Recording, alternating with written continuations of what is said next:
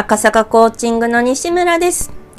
本日は幸せのバランスっていうお話をします。玉淵博士が書いてる言葉があなたの人生を決めるの実践ワークブックの63ページの話になります。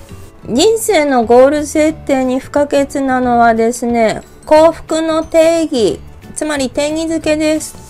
これは人によってですね、幸福の定義って異なるんですよ。人それぞれなんです。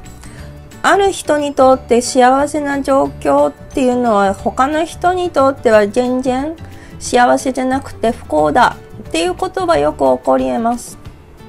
まあ例えばここに事例として挙げられてるやつなんですけどね。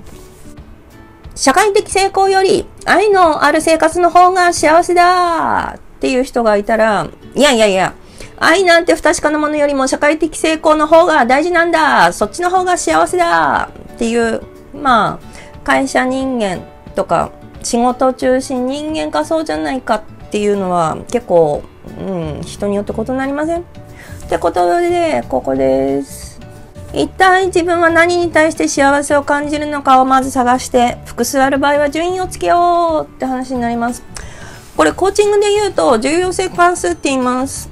NLP とかでもよく自分の重要なものっていうのをランキングしてってその順番シビアに考えて必要な場合は入れ替えしてとかってするとその順位をきちっと定めることでその人の性格までいじくれるっていうまああのつまり性格変わるんですよ。その重要性関数のもみ付けによって。っていうのがよく話に出てきます。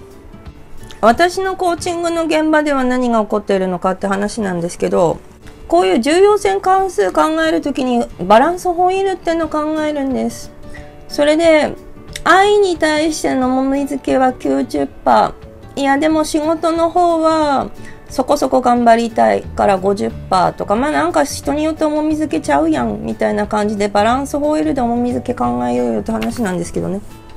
私この作業を別に書かずに口頭でクライアントさんとやっちゃってます。まあ例えばこんな感じ。私旦那さんとの生活が今一番大事なんですって。だって新婚ほやほやだもんって。仕事してた時には夜帰り遅かったんです。そしたらカリカリしちゃって彼氏との仲がなんかギクシャクしちゃってそれの二の舞嫌なんです。っていうようなお話に付き合うんですね。うんうん。でもお話聞いてるとあなたにとってはお金も重要なんですよね。あのお金は仕事で稼ぐもんっていうのはあると思うのでどうします？ってどうしたいですか？みたいなまあそういうやり取りをします。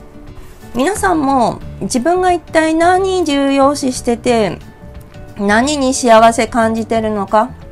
そのファクターはそれぞれどのくらいなもんかみたいな。そういうまあ視点でバランスよく考えてみてくださいね。それが幸福の源です。